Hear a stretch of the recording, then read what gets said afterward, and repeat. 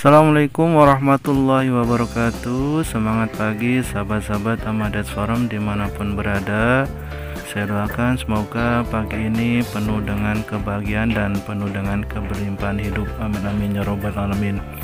Sahabat-sahabat semua banyak sekali komplain-komplain di grup atau di Facebook teman-teman ya Tentang penipuan pembelian bibit kurma teman-teman ya.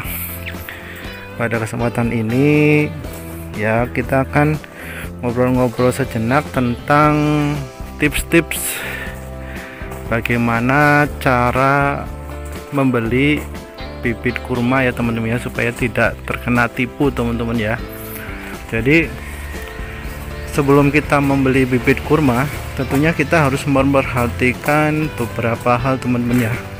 Bila kita mau membeli bibit kurma ke orang lain tentunya faktor pertama sebelum kita membeli bibit kurma secara online tips yang pertama teman-teman ya tips yang pertama adalah kita membeli bibit kurma langsung ke kebunnya langsung teman-teman ya. Jadi kalau teman-teman misalkan tinggal di Banjar misalkan sebelum beli online lebih baik beli di satu tempat dulu gitu.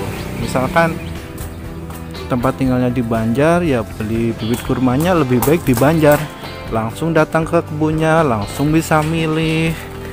Gitu teman-teman ya. Jadi selain tidak istilahnya apa tidak bakalan kena tipu karena langsung ke kebunnya langsung milih bibitnya dan juga menghemat ongkir teman-teman ya. Biasanya kalau bibit-bibit kurma itu eh, biasanya ongkirnya lumayan agak mahal teman-teman ya. Karena ada medianya ada tanamannya. Apalagi kalau bibit-bibit kurmanya sudah gede-gede kayak gini teman-teman ya. Sudah dalam planter bag teman-teman ya. Jadi yang pertama sebaiknya kita beli bibit kurma satu wilayah dulu. Misalkan Bapak di daerah Jawa Timur ya belinya lebih baik yang di Jawa Timur langsung datang pilih sendiri itu sangat ya 100% tidak bakalan ketipu teman-teman ya.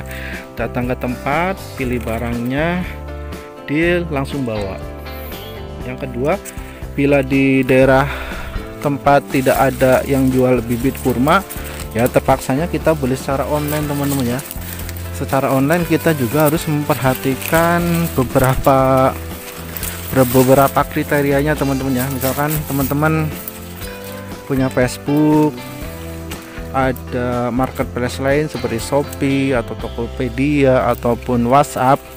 Saya anjurkan beli bibit kurma di grup kurma teman-teman ya. Misalkan di WhatsApp grup kurma atau di Facebook grup kurma itu istilahnya memungkinkan terjadi penipuannya itu kecil teman-teman ya.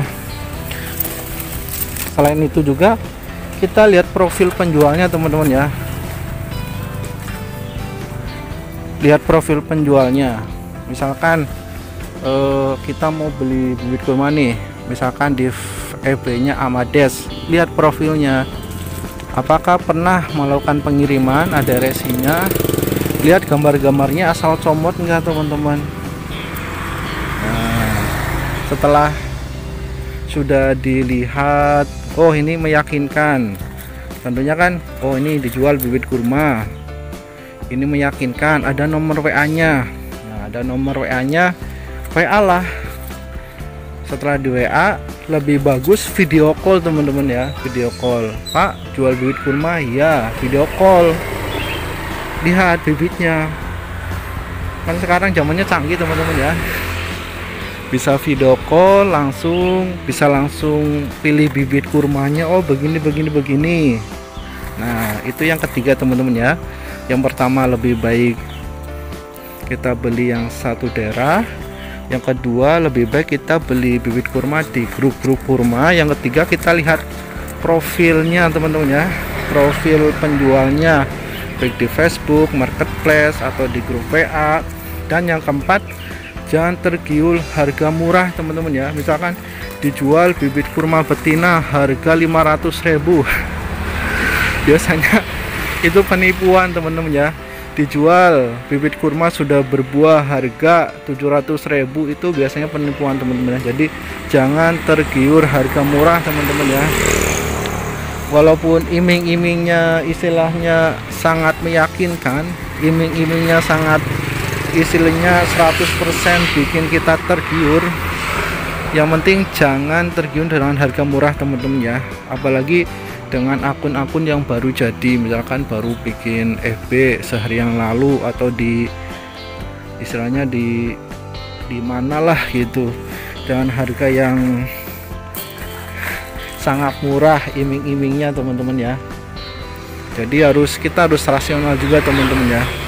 Dan juga sangat istilahnya sangat rawan sekali terjadi penipuan. Misalkan bibit kurma dijual bibit kurma sepasang. Dari biji kan istilahnya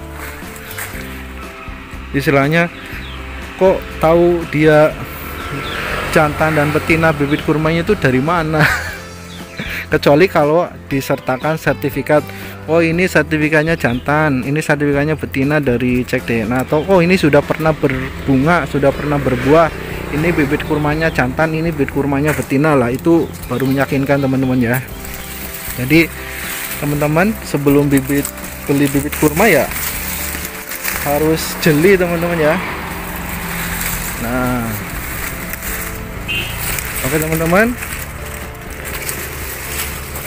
Obrolan pagi ini mudah-mudahan bisa bermanfaat teman-teman ya kami juga Amadet Farm ya bagi yang dekat-dekat wilayah Banjar aja Banjar, Ciamis, Tasik atau Cilacap, Majenang bisa langsung datang ke kebun pilih sendiri supaya puas supaya tidak ya tidak meragukan teman-teman ya. Oke teman-teman. Demikianlah obrolan pagi ini. Bila bermanfaat semuanya dari Allah Bila ada salah dan hilaf Tentunya dari saya sendiri. Bila kriteria-kriteria yang tadi masih belum cukup Teman-teman bisa tambahkan di komentarnya teman-teman ya. Oke teman-teman Semangat pagi. Salam Ahmadiyah Farm Assalamualaikum warahmatullahi wabarakatuh